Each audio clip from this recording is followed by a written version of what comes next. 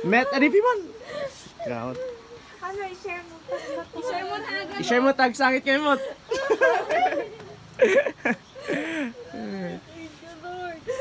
Thank you,